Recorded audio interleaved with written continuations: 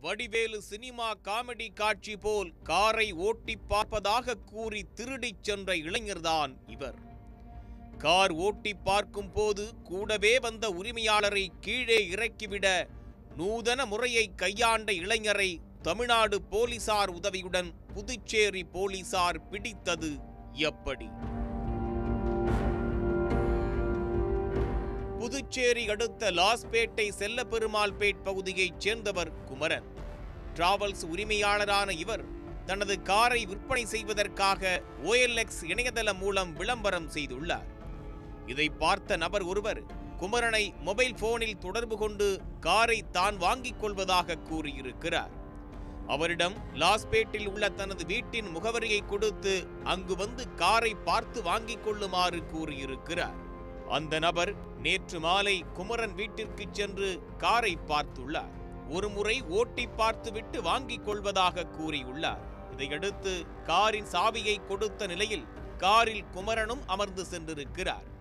கிழக்கு கடற்கரை சாலையில் புதுச்சேரி எல்லைப் பகுதி வரை ஓட்டிச் சென்றவர் திடீரென காரை சாலை ஓரமாக உள்ள மரத்தில் வேண்டுமென்றே மோதி நிறுத்தியுள்ளார். இதனால் அதிர்ச்சியடைந்த குமரன் காரை விட்டு இறங்கி கார் ஏதாவது சேதமடைந்துள்ளதா என்று பார்த்துள்ளார்.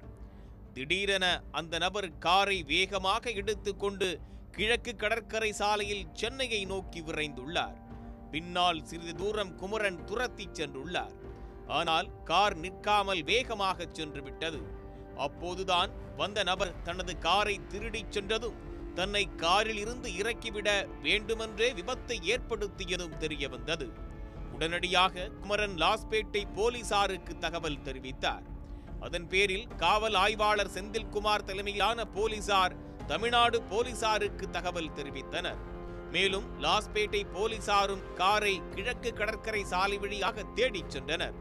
அந்த கார் மரக்காணம் அருகே சென்றபோது தமிழ்நாடு போலீசார் காரை மடக்கி காரில் இருந்த நபரை பிடித்து லாஸ்பேட்டை போலீசாரிடம் ஒப்படைத்தனர்.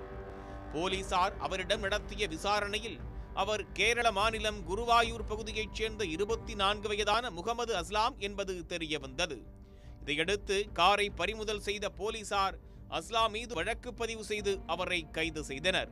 கைது செய்யப்பட்ட அஸ்லாம் மீது புதுச்சேரி மற்றும் தமிழக பகுதிகளில் இருசக்கர வாகன திருட்டு வழக்குகள் நிலுவையில் உள்ளது தெரிய வந்துள்ளது புதுச்சேரியில் பட்ட பகலில் உரிமையாளர் கண் எதிரே காரை திருடிச் சென்ற சம்பவம் பெரும் பரபரப்பை ஏற்படுத்தியுள்ளது.